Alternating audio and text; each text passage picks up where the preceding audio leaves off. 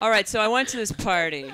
I went to. It wasn't even a party. It was worse than a fucking party. I went, like everybody says.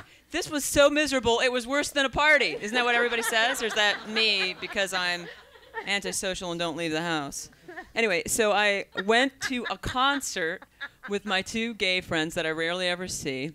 And it was like kind of like a kind of a gay guy get together, but it was at the Skybox at Staples for a concert. So I went to this really shitty concert with them. Are you going to tell us who it was? Counting Crows and John Mayer. Ow.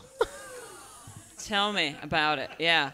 And I was looking around like thinking, God, I hope nobody sees me. Who gives a shit like somebody would? So I went to this uh, little skybox, and they were passing around these little pot cookies, and I thought, oh, thank God.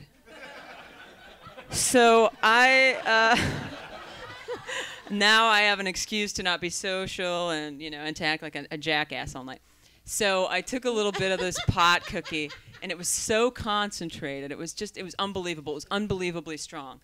And I, uh, at some point, I left the room because I, I felt myself like laughing to myself. Like all the guys were watching the concert, and I was sitting on the couch by myself, like, like oh no, you know. And I was like, God, you know, I'm just about like you know 20 years too old to be feeling this way. And uh, anyway, so I was in the I was in the bathroom like getting a kick out of myself because, you know, I don't know, I'm a loner, and uh, a loner and a masturbator, getting a kick out of myself in bathroom style. No, so I.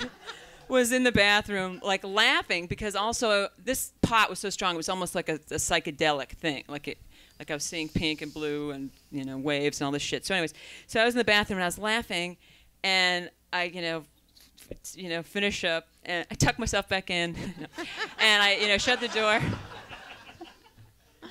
and uh, I walk out and there's a, a woman who is like a, a, real like high up at NBC, and she's really nice, but she, you know, everyone's really polite to her because she's like a big deal. So she sees me, I'm laughing out of the bathroom stall. And she says, Are you okay? And I love that phrase because to me that means your behavior is embarrassing me. she doesn't give a shit if I'm okay. You know, that's her passive aggressive way of saying, You're inappropriate. Did you know that? and so I'm laughing out of the bathroom stall, and she says, Are you okay? And I said, uh, yeah, I'm just I'm a little tipsy.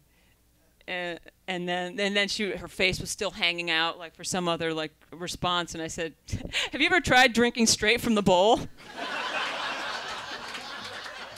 and then I'm like still laughing at myself and she's kind of like just looking at me.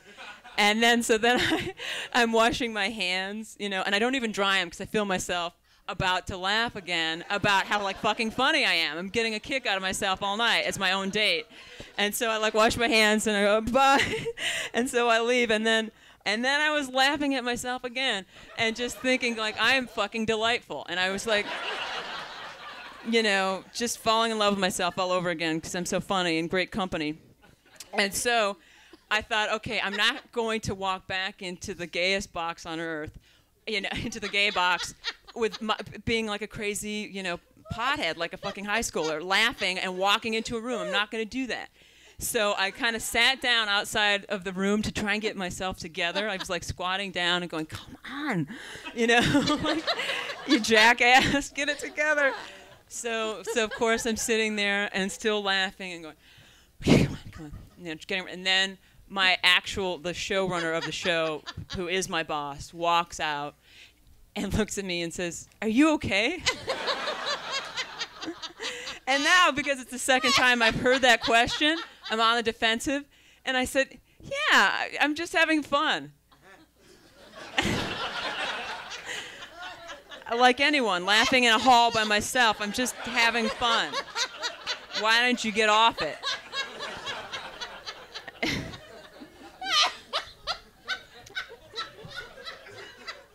Beth, are you drunk too?